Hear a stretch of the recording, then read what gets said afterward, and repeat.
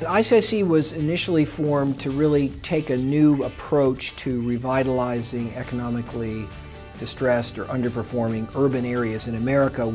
So we created ICCC as a vehicle to uh, gather companies in these urban communities and try to equip them with the skills and the uh, preconditions necessary to actually raise real capital but also to recruit capital providers to this idea and this opportunity. By coming here and spending a day, they're going to walk away uh, with some knowledge that they wouldn't otherwise have about how to get equity capital and how to get debt capital and what's required and, and how to, to do a better job of marketing the business and how to create strategy.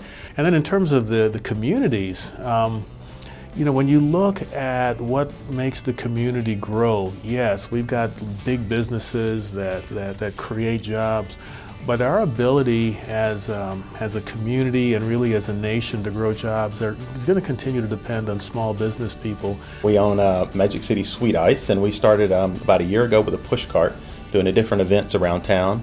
Um, we started off with the Woodlawn uh, Street Market. We've done a, a number of events, uh, and then we opened our first brick and mortar um, this spring, April.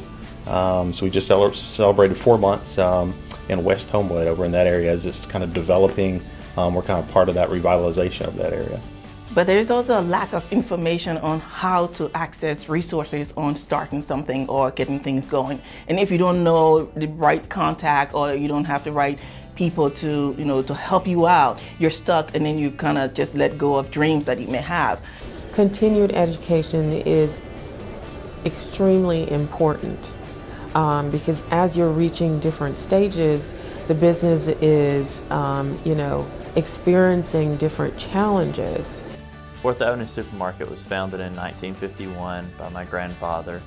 Um, we serve uh, lower income areas as well as middle class consumers. So I guess my favorite was, uh, was Professor Rogers. Really connected with him and, appreciated his advice that he gave me after the seminar. I want these entrepreneurs, these business owners to understand that they have the opportunity to be something bigger and better than what they are today. Every entrepreneur knows the importance of finance in the sense of, I need more money.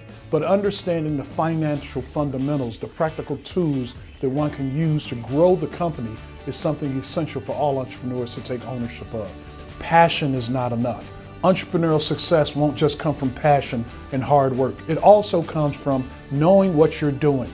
It's way more than I expected. It's very, very enlightening. This is one way to help you know, economy, the economy grow since mm -hmm. that's one of the biggest things for uh, the, re the, revitalization of Birmingham as a whole. Really engage. It's like this, there's this hunger for this knowledge. So I'm very excited about it. And you can hear the buzz from downstairs. I appreciate Regions providing me with this opportunity because it's going to allow me to grow my business. And as my business grows, that will in turn grow Regions business with me and with everyone else. It's a great multiplier effect. We believe strongly in, in not only being a part of the community, but, but really helping to, to shape the, the direction because we're bringing increased financial literacy, increased financial knowledge to, to business owners that in turn helps them do a better job of growing their businesses.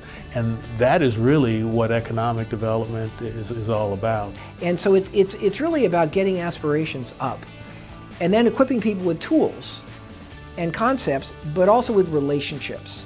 Regions is very dedicated as a company to the notion of shared value and what more powerful way of de deploying capital and working with small business can there be than working with the small businesses in the company, in the communities with the greatest need.